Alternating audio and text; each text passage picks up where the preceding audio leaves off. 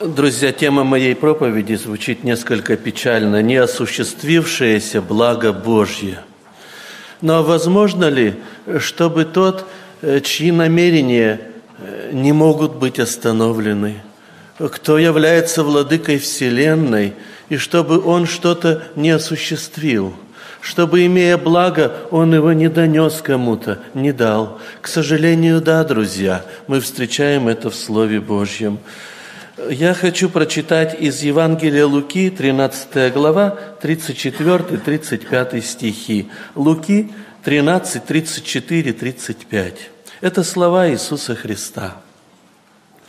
Иерусалим, Иерусалим, избивающий пророков и камнями побивающий посланных к тебе. Сколько раз хотел я собрать чад твоих, как птица птенцов своих под крылья, и вы не захотели. Вот оставляется вам дом ваш пуст. Сказываю же вам, что не, вы не увидите меня, пока не придет время, когда скажете благословен, грядущий во имя Господне. Друзья, я хочу вот отметить первую мысль – характеристика Иерусалима.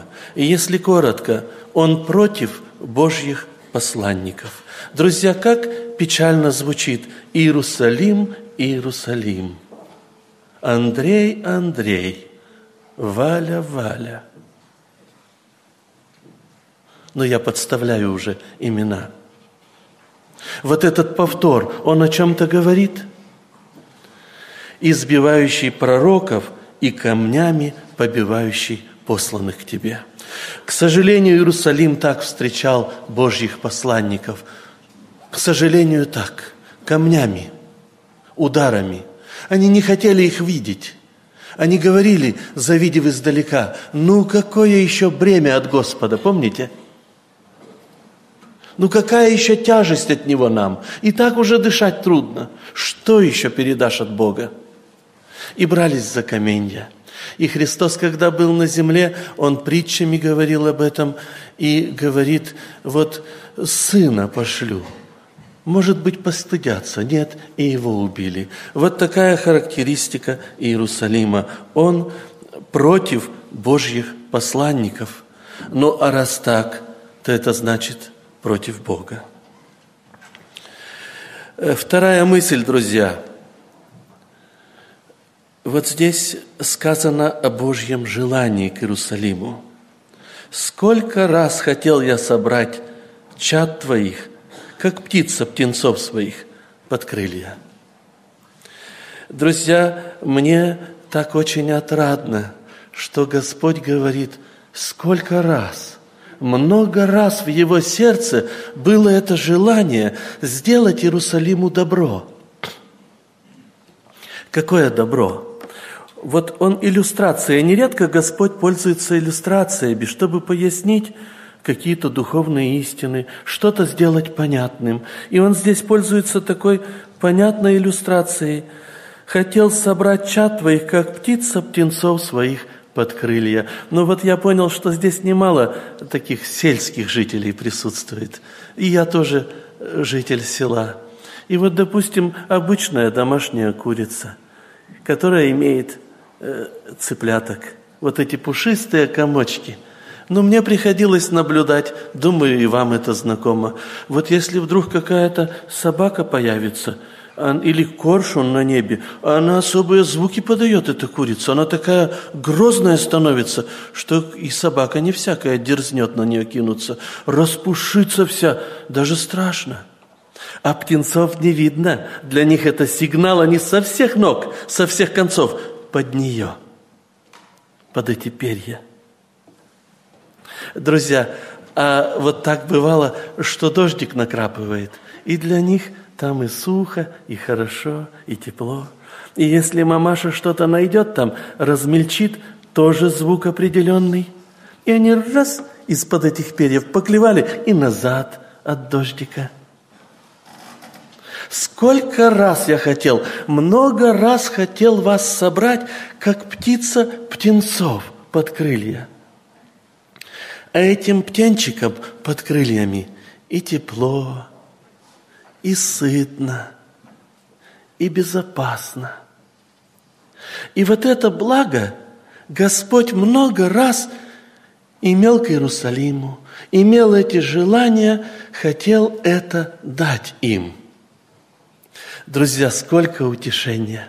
Бог, вот Он не меняется, Он такой же и к нам с вами. Он расположен и для нас быть такой птицей, под крыльями которой и сытно, и безопасно, и тепло. Друг мой, и для тебя Бог хочет таким быть. Сколько раз я хотел. Друзья, а вот как это Бог хотел сделать? Вы не заметили в этих двух стихах? Как вот Он хотел это осуществлять?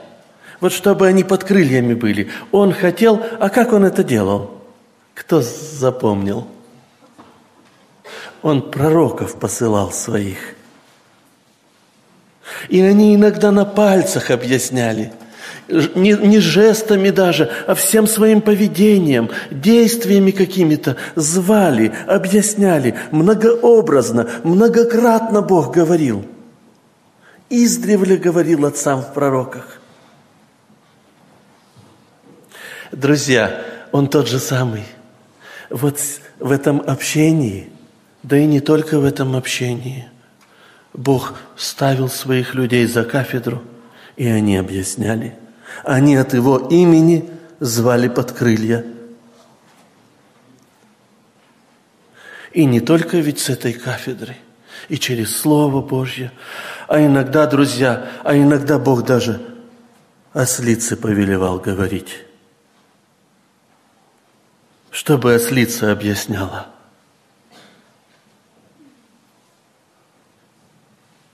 То есть Бог старался донести и старается сделать понятным. Он посылает своих людей, Он посылает свое слово. Друзья, а вот еще следующая мысль или вопрос. А что же попрепятствовало? Не захотели. Христос говорит, и вы не захотели – да ужас какой! Неужели так может быть? Бог предлагает человеку благо, а человек не хочет. Но да, друзья, вот, вот мы же читаем, и свидетели того, это ведь история уже. Не захотели. Друзья, вот одна мысль, страшная такая мысль, которая меня, ну, когда-то обжигала. Бог считается желаниями человека. К сожалению. Когда я это стал понимать и видеть, что мои желания порой неудержные, я добьюсь, чего хочу. Хоть бы как, но я хочу. Это поначалу. И думаю, стоп. Помните послание к римлянам, первая глава? «То и предал их Бог, потому предал их Бог». И как они не заботились, то предал их Бог. Ну, Бог не предатель, здесь не эта мысль. Он руку свою убрал. Они в эту руку бились, образно говоря. Она им мешала. И он ее поднял и отпустил. Идите по желанию сердца вашего. И это ужас для человека – Подождите, но человек, когда хочет чего-то, он же не понимает, что это ужас, он понимает, что это благо. Так ведь понимает человек, планируя свою жизнь. Что это благо, а вот Божья рука, вот это шлагбаум, проблема. А то, что говорят его посланники, это ужас. Подождите, я что-то перепутал? Да нет, друзья, чтобы быть такими откровенными. Но разве у вас никогда не было в мыслях, вот сейчас по Слову Божьему поступить, ну это же смерть, ну это что будет со мной? Ну как же я дальше буду жить, если я здесь сейчас поступлю? Вот так, как Слово Божье учит. Итак, друзья, почему они не захотели? Ответов очень много может быть, и они не исчерпывающие – ответить за безумного человека, за его безумие невозможно. Чем он руководствовался? Почему он так поступил? Но один из ответов – это тот, что человек не видит добром то благо, которое Бог предлагает ему. Человек не видит это благом. Вот в чем дело. Ну, допустим, друзья, шагнуть в печь в семь раз более раскаленную обычного – это благо? Но вы помните, о ком речь идет, да? А если бы вы заранее знали, что с вами будет точно так, вы бы пошли на это? Ну, я уже думал об этом, я бы пошел, так это как здорово. В печи не сгореть, ходить там, а под... А, ой-ой-ой. Но только так, как там будет. Да Бог же им тоже не объяснял, как будет. Вот в чем дело. Он их вел, а они послушно шли. Печь на пути значит печь. И они царю объясняют, что у них ничего не меняется. У них есть Бог, они ему служат, поклоняются и на все готовы. Вот и все. Да, друзья, сколько, сколько того, от чего сердце наше томится. Мы думаем, вот в этом благо, а он молчит. Он не подписывает наши прошения. И сколько так может быть?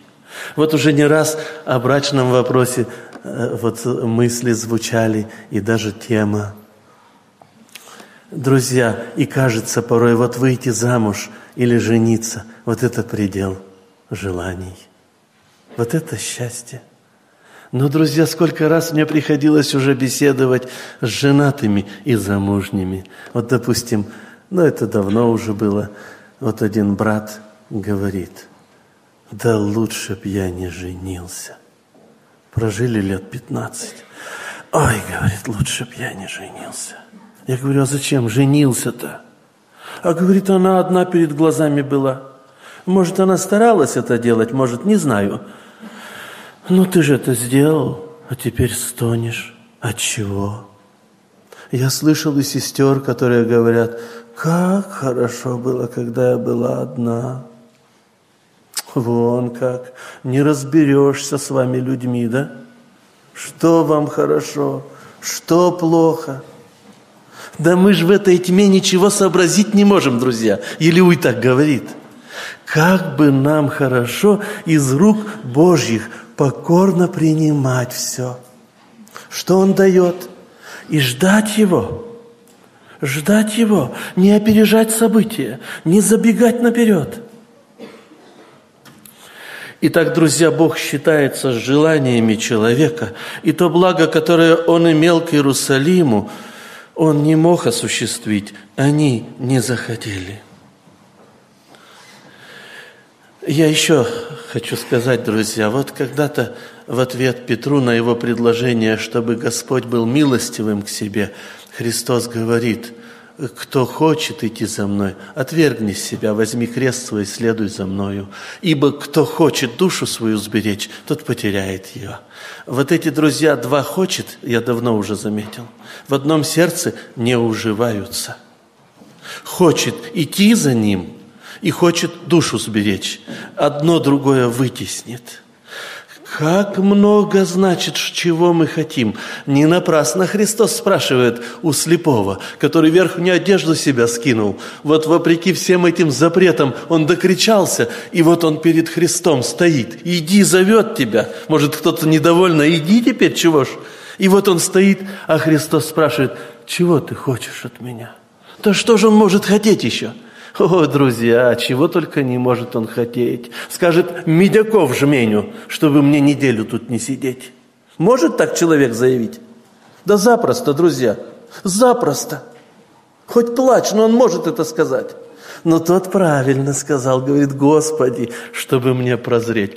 Прозри, все, решен вопрос. Раз ты этого хочешь, все, Друзья, как хорошо, когда наши желания совпадают с желаниями Божьими. Подождите, просто так так не случается. Нам надо знать желания Божьи и свои желания. Править в Его. покоряться Ему. Друзья, и, и еще здесь э, результат вот того, что произошло. Бог хотел, они не захотели. Он говорит, вот оставляется вам дом ваш пуст. Друзья, вот чуть-чуть попозже, в 19 главе Луки, этого же э, Евангелия написано, «И когда приблизился к городу, то, смотря на него, заплакал о нем и сказал, «О, если бы и ты, хотя в этот твой день узнал, что служит к миру твоему, но это сокрыто ныне от глаз твоих». Это такое тоже трогательный текст такой. Мне даже трудно это понять до конца. Он приближается к городу, смотрит на него и заплакал. Кто заплакал?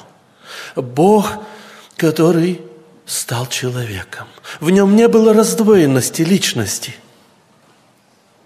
Это одна личность. И можно сказать, плачет Бог. От чего плачет?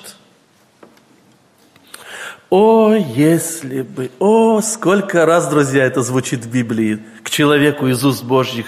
О, если бы ты, хотя бы в этот день, ну что-то, кажется, еще можно изменить, да? Но ты не знаешь, ты не видишь, ты не хочешь видеть, ты не хочешь прислушаться. Это сокрыто от глаз твоих. Дом остается пуст. Сколько страданий, сколько ужасов – и Господь, зная это, плачет. Что ждет тебя? Вот, друзья, я, к сожалению, так своему не раз уже вот беседовал. Допустим, 16-летняя девочка говорит, ну, девушка, да, говорит о том, что она успела натворить уже. Выросла в семье верующих родителей. И вот так легкомысленно – натворила. И думаю, сколько ж ты еще будешь плакать об этом в жизни, и даже рыдать, закрыв лицо руками, и сотрясаться от того, что ты так легко сделала, не подумав совсем, не послушав. Ну так ты хотела. Так тебе захотелось, и ты так сделала. Вот такой росчерк – который во всю жизнь не сотрешь. И охота сказать, что ж ты наделала себе, а? Ну или наделал. Я когда-то был в одном большом музее, несколько этажов, этажей, огромные залы, музей Холокоста. Холокост – это тема страданий еврейского народа во все времена. И вот много различных вот различной информации, и аудио, и видеопродукции, и фотографии, и там различные предметы, и лепки. Вот, допустим, идет колонна евреев, это во времена Гитлера, колонна евреев идет, э, снимают одежды верхние, дальше эта колонна продолжает путь, здание крематория – и уже с другой стороны никто не выходит, просто дым из труб. Ну, я бы мог рассказывать, знаете, вот походил, походил, походил, и охота молчать. Так это страшно порой. Так страшно. А последний зал, большой зал пустой, и в середине огонь памяти горит, а под куполом написано большими буквами «О, если бы ты слушал меня!» впечатляюще. Всего бы этого не было, вот этих залов больших, вот этих ужасов, вот этих слез, проблем, страданий. Этого бы не было, если бы ты слушал меня. Друзья, Бог тот же остается. Ну, и мы же люди, но мы можем учиться – учиться тому, чтобы послушно ходить за Господом, чтобы нам не делать того, чего не хочет Бог. В Царство Божье войдут те, которые охотно принимают Слово Божье, охотно крестятся, охотно, послушно делают то, чему учит Господь. Они готовы ждать сколько нужно. Они готовы смиряться, хоть это трудно. Это их естественное желание, потому что так хочет Бог. Друзья, да благословит нас Господь принимать благо из Его добрых рук, не отказываться. Да благословит нас Бог протягивать к Нему руки и принимать благо Божье. Что может быть лучше? Заканчивая наше общение, мы будем молиться. Друзья, но так хотели предложить, чтобы э, кто не устроен душой своей, что-то уже потерял, нет устойчивости, может быть, грехи есть, чтобы таковые могли поправить свои светильники и покаяться. А уместно ли членов церкви призывать к покаянию? Ну да, конечно. Вот, допустим, во втором послании Петра написано, «Не медлит Господь, но долго терпит». Вылетело из головы. Не желая, чтобы кто погиб, но чтобы все пришли к покаянию. Я понимаю, там речь идет о верующих, о членах церкви. К ним написано послание – но чтобы все пришли к покаянию, чтобы поправили светильники, чтобы были тем, чем они должны быть. Друзья, мне очень нравится текст такой, который несколько раз повторяется в Библии. У пророка Ииля, Петр в проповеди говорит в день Пятидесятницы. Апостол Павел в послании к римлянам тоже ссылается на это пророчество. «И будет, всякий, кто призовет имя Господня, спасется. Вот призвать, друзья, это звать в голос говорить. Хотя это включает в себя и покорность. Вот этот зов, ну Христос говорит, что вы зовете меня, Господи, Господи, и не делаете того, что я говорю вам. Этот зов, он он из сердца, а в сердце уже вот определенная позиция. Покорный, принимаешь милость Божью, готов на все, что Бог скажет, чтобы он был Господом. Ну и зовешь его с этим. И может быть, друзья, кто-то оступился, кто-то что-то потерял. Вот есть сегодня возможность выйти сюда и сказать, Господи, я опять зову Тебя. Я по-другому не хочу. Я хочу все поправить. Что ты скажешь, должно поправлено быть. А ведь мы, друзья, уже и поняли здесь многое. Кому нужно выходить каяться? Нередко, друзья, выходят те, у кого, в общем-то, все в порядке. Ну, такие духовно чувствительные. Мы, наверное, должны понимать, что э, вот такие, они и идут, и способны дальше идти. А вот тот, кто лишился уверенности в спасении, кто, чье сердце действительно не на месте, вот тому надо бы выйти и помолиться. Друзья, в помощь для таковых. Ну, я попрошу встать всех, мы споем один куплет, вот брат предложит. И за это время больше призыва не будет повторяться. И за это время, пока будет звучать пение, э, всем, кто понимает, что Бог зовет его – и ему надо это сделать. Нужно будет выйти, склониться, а потом, а потом будем вместе молиться. Итак, пожалуйста, друзья, попрошу вас встать. Песня Возрождения номер 35. Первый куплет только будем петь. И за это время, друзья, кто хотел бы поправить свой светильник, пожалуйста, проходите, и можно будет склониться и помолиться Господу.